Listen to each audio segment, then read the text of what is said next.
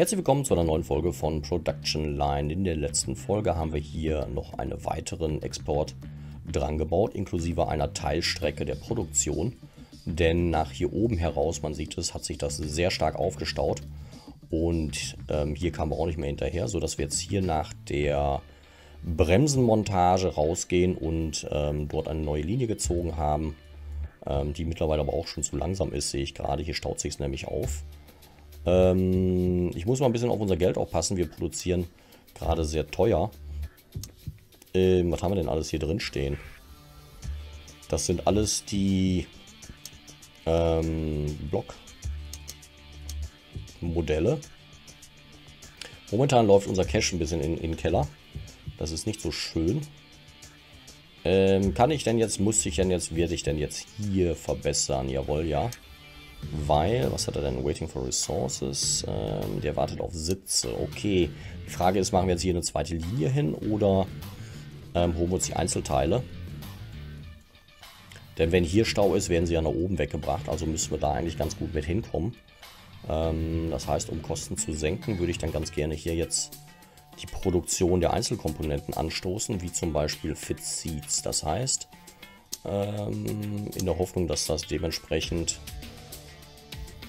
ähm, ja, man merkt schon, da hat die Grafik-Engine ein bisschen zu knabbern. So, das kann ich nämlich jetzt hier mal so drüber setzen. Ähm, ich brauche es nur noch anschließen. Und habe die jetzt eingebettet direkt an der Produktion, äh, an der Montagestelle. Das heißt, hier werden jetzt gleich die Stahlklumpen auftauchen. Da sind sie, ebenso das Leder. Und, ah, Fitball Shell, sehr schön, kann ich auch jetzt machen. Alubody. Ähm, das sind ja noch die letzten Geschichten, die wir, was sind das? Ah, schau mal an. Äh, das können wir erst erforschen, wenn wir Make Starter Motor Manufacturer haben. Eher können wir die nicht reinbekommen. Okay, dann ziehen wir nochmal den Spoiler mit rein. Body-Dings stelle ich gleich um. So, und den kann ich jetzt hier sagen, äh, Prefer Local. Das ist jetzt ganz praktisch, der ist hier rund eingebettet, das heißt die Wege sind für die Sitze nicht sehr lang, die können von hier rüber gesetzt werden, mehr oder weniger. So, wir können jetzt hier vorne noch, ähm, boah, wo wandert jetzt?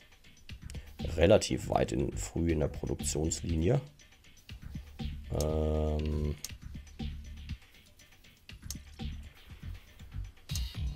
Fit Body Shell, da ist es doch. Alu Body, zack. Und ähm, Fit Body Shell, der kommt auch rein, zack. Jetzt müssen wir das natürlich noch eben in die Modelle einpflegen. Ist kommen, kommt also für äh, alle rein. Wir auch kaum Geld für. Dann Basic, nö, lassen wir. Wir haben immer noch einen kleinen Aufpreis auf alle Fahrzeuge drauf, das ist gar nicht so ganz schlecht. Verkaufen tun wir noch alle. Im Moment, wir haben jetzt gerade die Blocks ein bisschen günstiger gemacht. Das heißt, das verschwindet alles. Ähm, ich muss nur zusehen, dass ähm, Income die Fahrzeuge auch alle rausgehen. Von denen sind es noch ein paar wenig. Ähm, wir haben von den Basics haben wir 163. Wir sollten zusehen, dass wir von denen ein paar mehr produzieren und auch verkaufen. Das heißt, ich schaue mal eben, wie haben wir denn hier die momentane Auslastung. Ähm, da machen wir noch einen von. Das heißt, den nehmen wir mal raus ähm, und ziehen uns den Compi 2 hier rein mit drei Modellen. Und das lassen wir auch so. Die Sedans, die haben wir hier oben drin. Ne? Change. Ja, da ist er drin mit drei. Da ist der Compi 2 mit zwei, der Block mit zwei. Ähm, da machen wir auch zwei von. Naja. Ah, geht schon einiges raus. Da sind die, das sind die Basics. Okay. Man sieht es ja an der Dachgeschichte. Das sind die, ba äh, die kleinen und das sind die. Bäh, wo ist er jetzt? Da ist der kleine Compi Basic. Und der andere ist schon wieder raus. Naja. Gut. 1,5 Millionen. Anscheinend geht es wieder ein bisschen hoch. Das ist gut. Ähm, Sitze waren sehr teuer, das hatte ich ja schon gesehen. So, ähm, hier machen wir Türen. Um das hier ein bisschen besser zu beliefern. Das geht ja so leidlich. Ähm, was haben wir denn hier? Fit Roof. der wartet nie auf neue. Der braucht aber 3,55. Das heißt, wir müssten hier eine zweite Linie dran setzen, um dort ähm,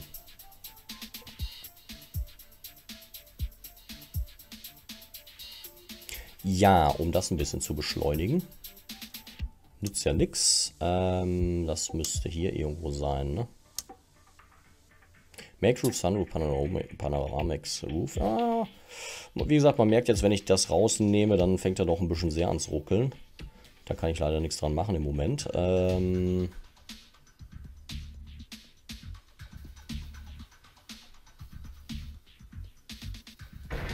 Setzen wir mal so.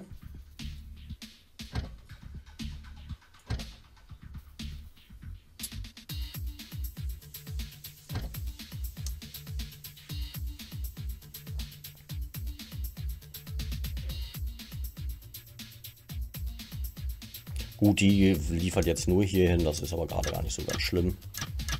Würde ich mal sagen. Ähm, Panoramic Sunroof und Roof. Okay, das ist ja jetzt auch immer abhängig, welches Modell hier dran vorbeiläuft. Das heißt, wir müssten hier die Dachproduktion eventuell noch hinsetzen. Ähm, das heißt, das haben wir jetzt auch nochmal erhöht. Äh, eventuell dann halt schauen hinten raus, was man da noch machen muss. Da müsste ich dann aber eventuell die Linie einmal rausziehen, was nicht geht, weil hier kein Fabrikslot äh, Platz ist. Das ist natürlich unschön. Ich könnte mir nebenbei auch nochmal wieder, alter Schwede, ähm, eine Dingstation gönnen, denn wir äh, benötigen mehr Strom, als wir herstellen. Facilities ist das Power Plant, High Power Output, Schlumpf mit Erweiterung, Effizienz ist beides drin und schon sind wir wieder im grünen Bereich. Die 30.000 gönne ich, ne 30, 60 kostet das Ding, ne? Äh, 76,800, okay. Ja, die sind wir bald über, denn Spoiler sind wir schon bei 95, so ganz viel ist es nicht mehr. Es kommen jetzt nur noch die Produktionsstätten dazu und eine ähm, Gimmick-Sache sozusagen. Äh, er wartet immer noch auf Ressourcen. Auf was wartet der denn? Ja, Alarm. Na gut, dann machen wir jetzt folgendes. Wir werden hier einen Stockpile hinsetzen. Ja, super. Ähm, bei Fit Trunk kommt das. Okay. Alloy Wheels.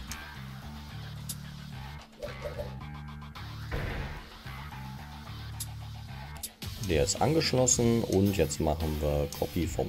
Ne, machen wir nicht. Ähm, der wartet auf die Alarms. Halt, die müssen da oben stehen. Nö, steht nicht.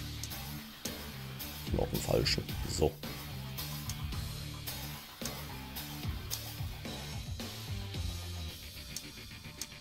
So, mal gucken, wie sich das auswirkt. Herstellen können wir die ja nicht. Ähm, zack. Halt, Moment, warte mal. Door-Panel. Wieso habe ich da nicht für Local drin stehen?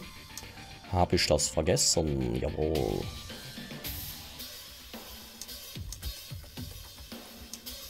Da wäre es auch eine Verbesserung, ähm, wenn man das machen könnte, dass... Moment. Man das für alle einstellen könnte. Also wahlweise für alle einstellen.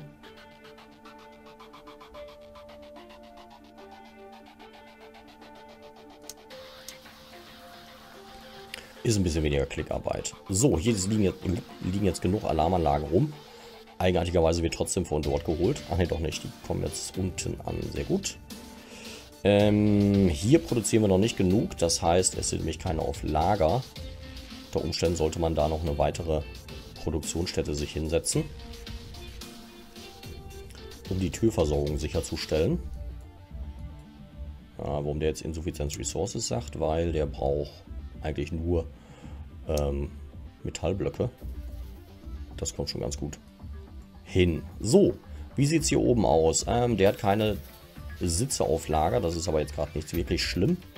Hier staut sich auf und zwar ist das genau die Station. Mac Fit Seats, okay. Was ist es denn? Waiting for Resources, okay.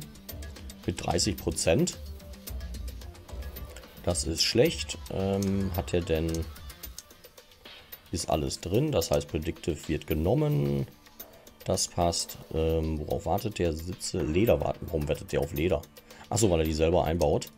Okay, das heißt, wir müssten hier noch eine Sitzproduktion her zaubern. Ähm, würde ich dann einfach mal so anschließen. Ja, schon erstaunlich, dass er jetzt auf einmal beim Setzen der ähm, neuen Plätze ähm, anfängt zu stottern. Aber gut. Was ist hier los?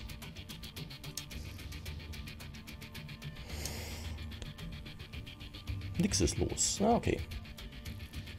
Gut. Ähm, brauchen wir nicht.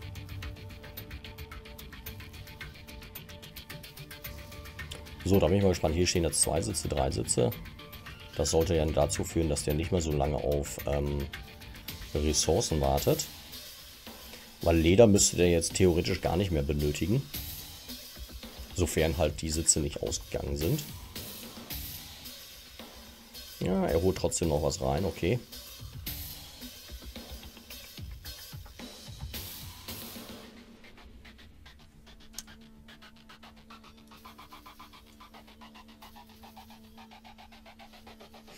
Ähm, weil... Achso, Leder Interior. Okay, alles klar. Ähm, da wird ja mehr als nur die Sitze mit Leder gemacht. Das ist ja irgendwie so Mittelkonsole und also was ist dann mit Leder bezogen. Ähm, dann ist das logisch, dass er das noch holt. So, das ist auf Prefer Local, okay. Ähm, wir könnten die Servos noch nach da oben ziehen, hier als Produktionsstätte. Obwohl, da braucht er immer nur einen momentan. Tatsächlich wartet der auf Leder selber, okay. Naja, schauen wir mal.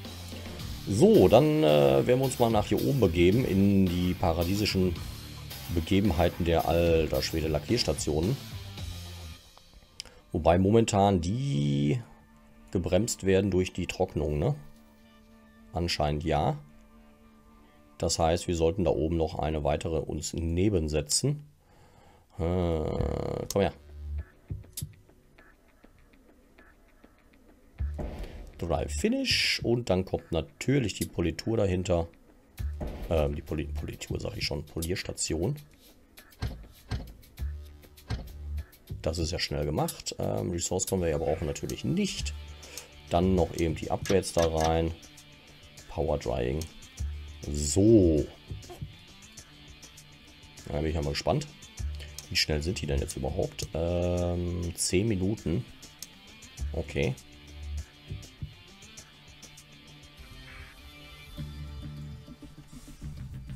Momentan sind wir eigentlich nur dabei, was heißt nur, sind wir dabei, die ähm, Abläufe zu optimieren. Was wahrscheinlich irgendwann mal dazu führen wird, äh, die gesamte Fabrik umzubauen. Dafür müsste ich aber ein bisschen mehr Cash auf der Tasche haben. Denn wenn ich alles abreiße und neu baue, das kostet ja auch einen Haufen Kohle. Und äh, ja gut, wir haben den Vorteil, sage ich jetzt mal, ähm, wir haben ja hier unten die Linie raus noch bestehen. Das heißt, diesen gesamten Bereich hier oben könnte ich theoretisch ähm, umstrukturieren und umbauen. Schwierig wird es hier bei diesem Mittelbereich.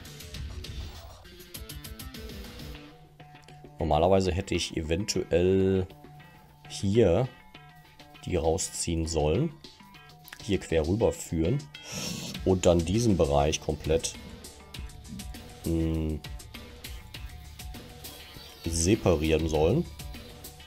Separieren? Separieren. Ähm, gut, wer stört sich denn hier noch? Äh, wer staut denn noch?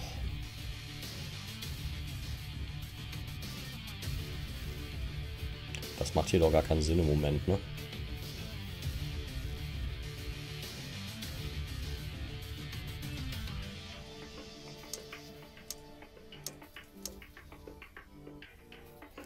Ja, jetzt sehe ich es auch selber. Da sind gar keine drei Roboter dran gewesen. Beziehungsweise vier. Äh, achso, Predictive ist das. Hm, okay, hätte ich gar nicht machen brauchen. Ähm, dort ebenfalls. Wir können hier noch einen Haufen Roboter ransetzen. Ich nehme Predictive einfach mit rein, ist egal, ob man es braucht oder nicht. Ähm, soll mir jetzt nicht so ganz das Genick brechen, hoffe ich mal. Ähm, das ist natürlich klar, wenn es hier dann zu wenig Roboter gibt, dass es da gestaut. Äh, da sind vier dran, da sind vier dran. Und hier ebenfalls. Äh, okay, gut. Haben wir übersehen. Ähm, Ich schau die mal durch, die müsste ich alle gemacht haben, ne? Jo. So, dann gehen wir nochmal hier oben schauen, ob da alles jetzt aufs Maximum gebaut ist. Sieht danach aus. Ähm, der hat keine Ahnung, was für Probleme. Es werden überall Servomotoren gebraucht, sehe ich gerade. Das ist natürlich interessant für die Selbstproduktion später. Ähm, hier fehlt noch der Pollenfilter. Das erforschen wir gerade. Loyals, okay. Die kriegen wir vielleicht sogar heute noch hin. Und dann haben wir es fast alles durch. Dann fehlt nur noch ein bisschen Produktionsstätte und dann können wir die gesamte Forschung eliminieren. Ähm, Loyals kommt hier hin. Ne? Ja, okay. Das sind also drei Stationen.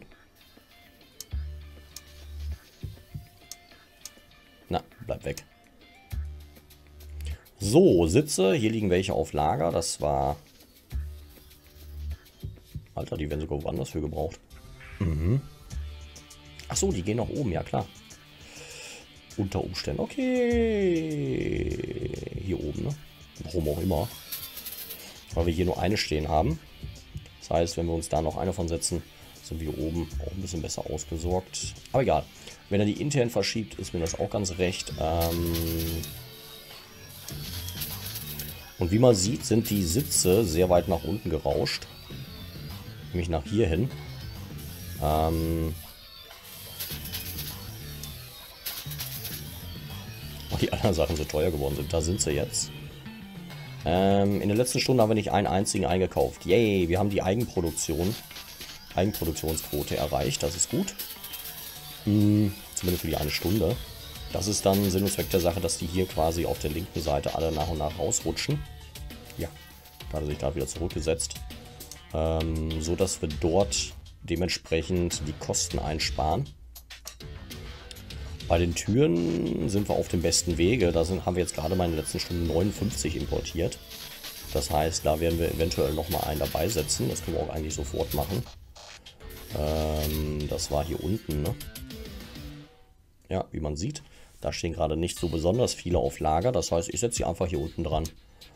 Ähm... Weil es so schön passt.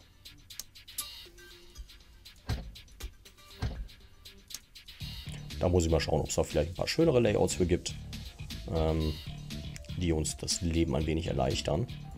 So, wie sieht es denn jetzt aus? Was haben wir denn immer noch? Waiting for Resources. Ähm, oh, schön. Okay, wir können Make Wheels jetzt reinhauen. Okay, und Existing Slots drei Stück, das ist sehr schön. Ähm, Start-Stop-Engine kann ich noch nicht machen. Das heißt, wir machen hier nochmal eben den Pollenfilter. Ähm, dann muss ich erst auf der Processing-Seite ein bisschen was machen. Das sind aber alles so Sachen, die sind relativ schnell erforscht. Und dann haben wir die durch. Sehr gut. Das dauert noch ein, zwei, drei Folgen. Dann haben wir das. Ähm, jetzt kann ich noch eben fix die Slots für die Dings hier nehmen. Loy Wheels. Zack. Und die dann in die Modelle eben einpflegen. Und dann sind wir auch schon so ziemlich am Ende der Folge angekommen. Ähm, zack. So, und das war glaube ich schon. Was ist das? Kommen oder Universal? Okay, die kriegen alle Aluräder rein. Der hat kein Alubody. Das ist eine Common-Geschichte, die liegt bei 84 Dollar. Das ist ja mal gar nichts für ein Alubody. Das ist ja schlau. So, dementsprechend müssten auch unsere Absätze ein wenig hochgehen. Ähm, achso, okay universalen Sunroof. Dafür haben wir das Panoramadach drin. Sehr gut. Wir könnten natürlich jetzt von diesen ähm, anderen Modellen auch ähm, Standardmodelle bauen.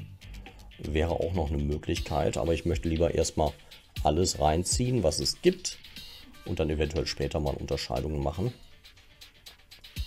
Das sieht gut aus. Wir produzieren mehr Sitze, als wir benötigen. Das wird uns die Kosten ein wenig runterziehen.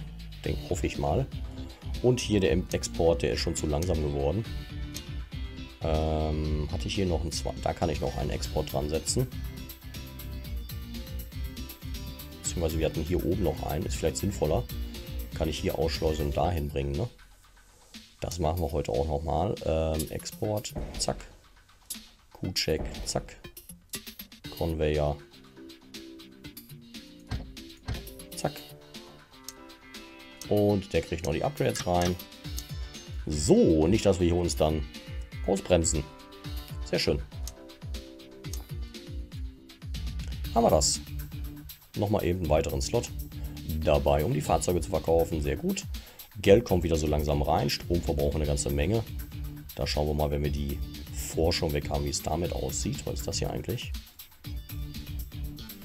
Ein interessantes Computerteil. Gut, dann würde ich mal sagen, vielen Dank fürs Zuschauen und bis zum nächsten Mal bei Production Line. Bis dann, ciao.